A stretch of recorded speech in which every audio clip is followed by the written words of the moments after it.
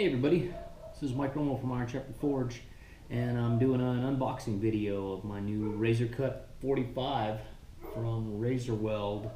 Uh, this is going to be the plasma cutter that goes on my Langmuir, Langmuir Systems Pro. So let's see what's inside the box.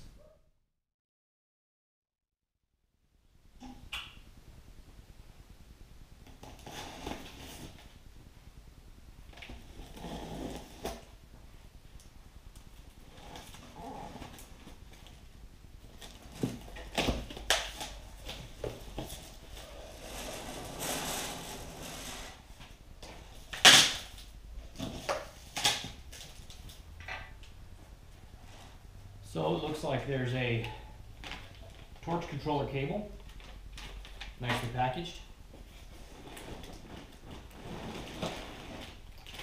There's the torch. This is the HYP 45, so I believe this is the one that's I believe this is the one that's compatible with the Hypertherm consumables, and I hear some good things about it.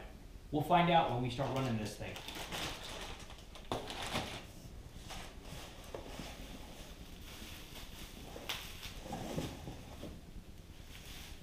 That looks like the ground clamp.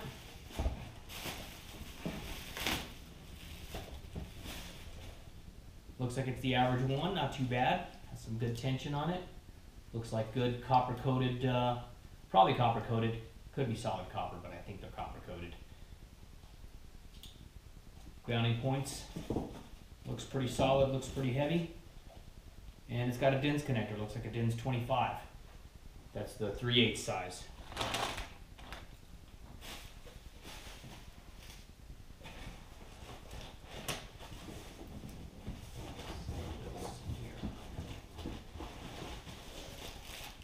The instruction manual. We'll go through that later.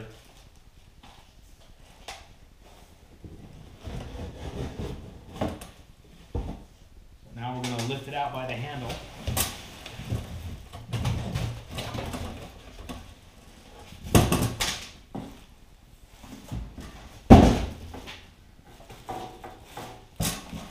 All right. Sits up here.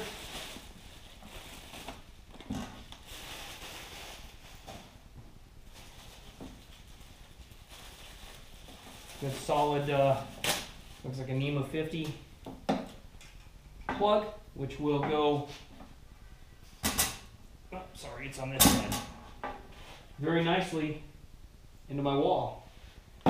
So it looks like we're in pretty good shape there. Front of the machine looks like it has an amperage control.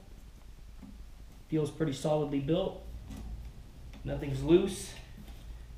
The handle's in good shape. Everything looks nice.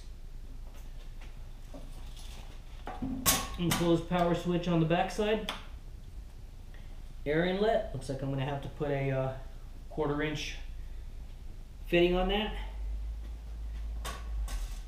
And overall, this looks like a pretty nice piece of equipment. Stay tuned for another video and we'll, uh, we'll go ahead and, uh, and run it and we'll uh, we'll get it all set up and we'll see if we can't cut some steel. So stay tuned.